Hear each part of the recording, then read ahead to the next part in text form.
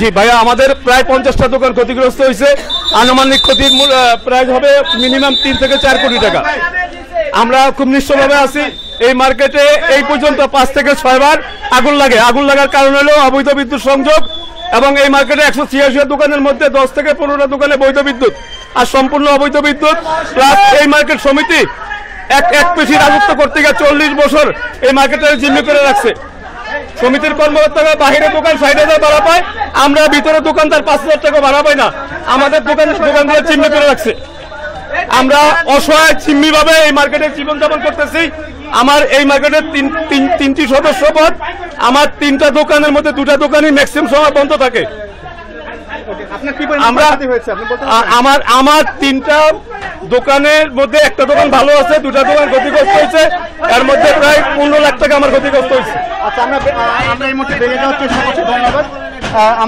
আমরা আসলে এখানে মানুষ চেষ্টা করছে তাদের অগ্নিকাণ্ডে তাদের যে যতটা ক্ষতিটা যতটা কমিয়ে আনা সম্ভব সেই চেষ্টাটা করছে এবং যে যেভাবে পারছে তারা মালগুলো বের করে আনার চেষ্টা করছে। তো আমরা এখন আছি হাসিনা মার্কেটের ভেতরে। আমরা প্রথমে যেটা জানতে পেরেছিলাম যেটা আসলে এখানে হোটেল এবং খাবারের দোকান বেশি আছে। কিন্তু আমরা এখন এসে দেখছি খাবার শুধুমাত্র হোটেল এবং খাবারের দোকানের পাশাপাশি হোটেল খাবারের দোকানই না, এখানে আরও অনেক বিভিন্ন দোকান বিশেষ করে মশলার দোকান রয়েছে। এবং এই মশলার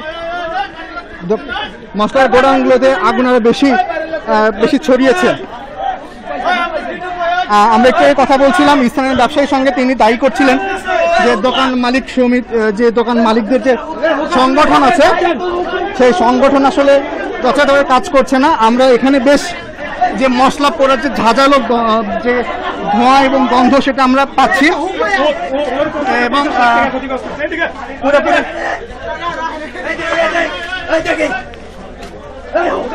এবং তারা বলছে যে এখানে আসলে অবৈধভাবে যে যে বিদ্যুৎ সংযোগ দেওয়া হয়েছে বিদ্যুৎ সংযোগকে তারা দায়ী করছেন অগ্নিকাণ্ডের প্রধান কারণ হিসেবে। এবং তারা বলছেন, এর আগেও পাঁচ, ছয় বার এখানে অগ্নিকাণ্ডের ঘটনা ঘটেছে।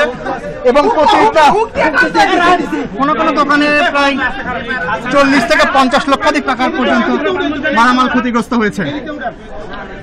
এখানে বেশ উচ্চ গুণতার ভিড় দেখা যাচ্ছে এবং তাদেরকে সরাতেও বাজারের লোক- লোকজনকে বেশ বেগ পেতে হচ্ছে। আমরা ইতিমধ্যে কথা বলেছি একজন ব্যবসায়ীর সঙ্গে। তার এখানে তিনটি দোকান আছে এবং তিনি বলছেন যে এখানে এই মার্কেটে আরও আরও আগুন লাগলেও আসলে তারা এই ঘটনার যে সমিতি রয়েছে সেই সমিতির মালিক বা সমিতির সদস্যরা আসলে সঠিকভাবে তারা কাজ করছেন না। এই দাবি দাবি দিয়েছেন।